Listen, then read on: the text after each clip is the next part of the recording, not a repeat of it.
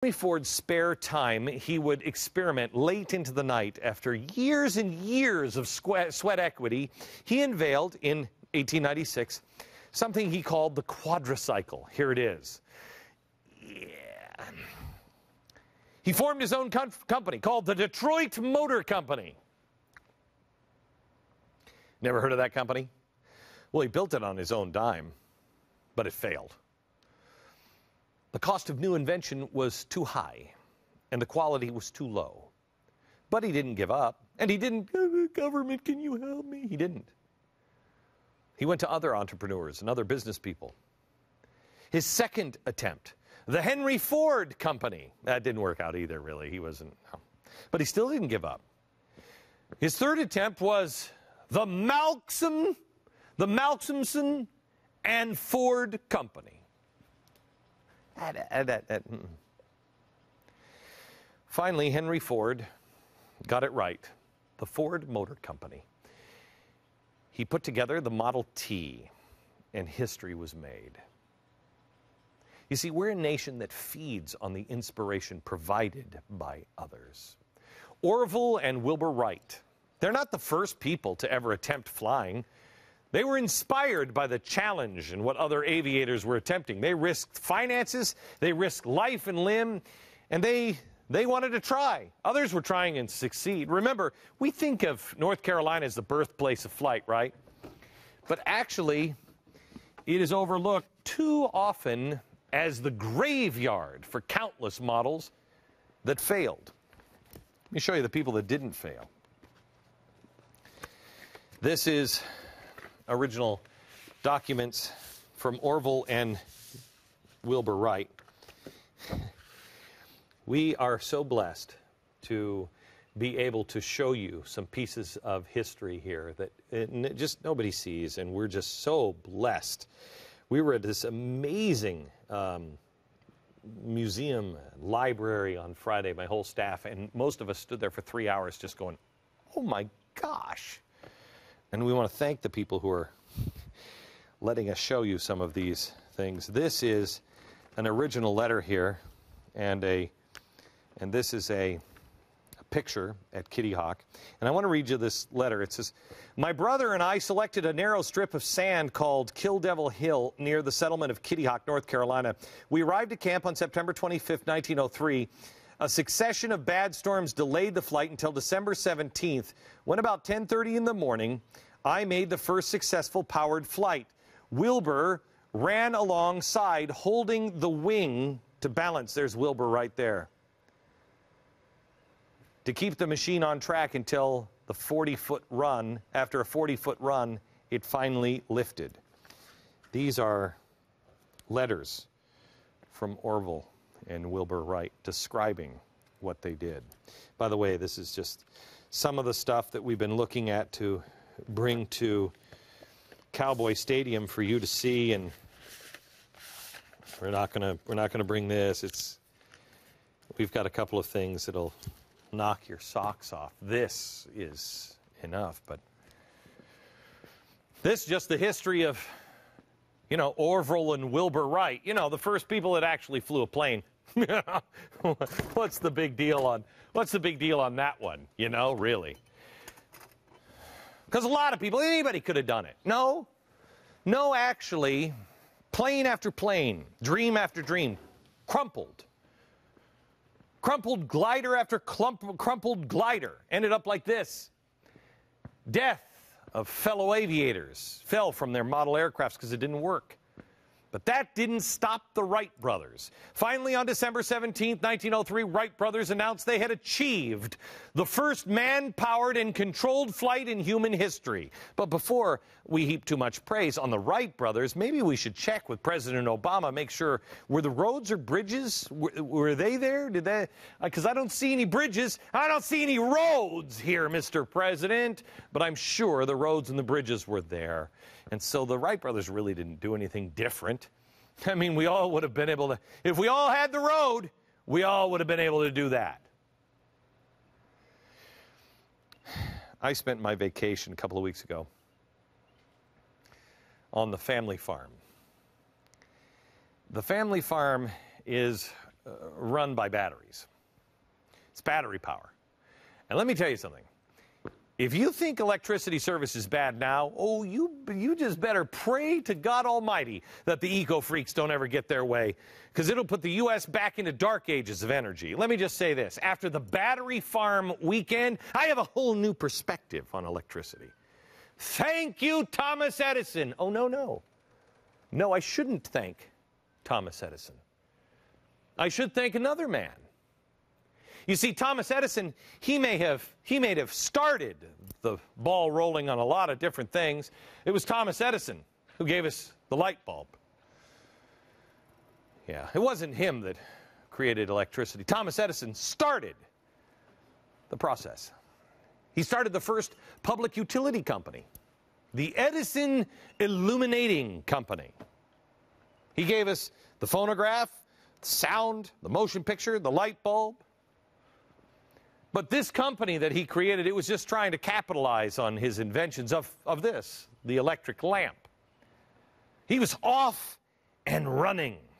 And by 1887, he had 121 power stations in the United States. 121 gigawatts, yeah. He had these power stations, 121 of them, to provide electricity to homes. But Edison had one problem. His plants were all DC. That is short for direct current. It's used now for low voltage items. It's DC. It's battery. It's what I had. This is what runs my home now. It sucks. He could only provide homes power if they were within a 1.5 mile radius per every power plant. That was it. You had to be close to the battery one of Edison's employees, his protege, was a guy named Tesla. Now, Tesla, he believed he had the solution. He said it wasn't DC direct current, it was alternating current. It was AC. With, without getting technical here, AC made it possible to run, run, electricity much farther distances without the need of a power plant every two miles. You could run it across the country. It's what we use now. It's what's in your wall. It's what's running your refrigerator, running your internet right now. But Edison, the private guy, dismissed the idea, said it's utter, utterly unpractical. Now you couple that insult with the with the fact that Edison allegedly cheated Tesla out of $50,000 he claimed he worked for. Edison said he was joking when he initially proposed the amount. He quit over that dispute and he formed his own company. It failed. But he would rather work hard for a living than live a lie. He ended up digging ditches for work. But as he was shoveling, ideas kept churning. He never gave up on his idea. He finally got in front of an energy giant called Westinghouse. Westinghouse. He was an important man. In fact, I remember uh, growing up, Westinghouse, uh, Westinghouse light bulbs and refrigerators and everything else. Well, this relationship, Tesla and Westinghouse, really troubled Edison. Threatened, uh, threatened his whole power empire. Wait a minute, wait a minute. These former colleagues suddenly found themselves in a bitter war, Edison against Tesla. And Edison unleashed a propaganda campaign against AC power. You're not going to believe this.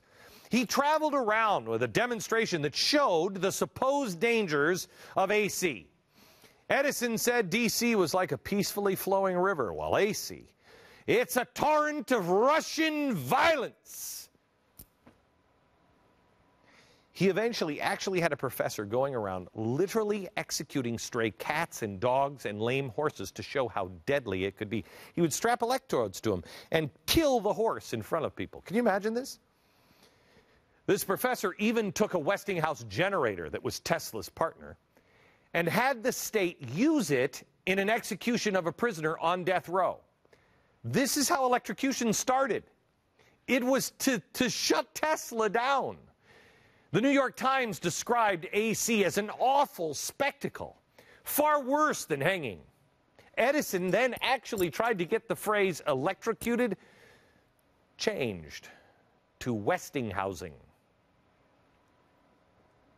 Oh, you think capitalism is bad now. But government wasn't involved. You might remember some of this stuff if you've ever watched one of my, I love this, I shouldn't, but I do, I love it. Drunk History. Have you ever seen this on the internet? Westinghouse and Tesla won the contract to supply all the electricity to the World's Fair. And this pissed Edison off. He was like, this. Uh, alternating current is bad. Alternating current will only cause massive deaths.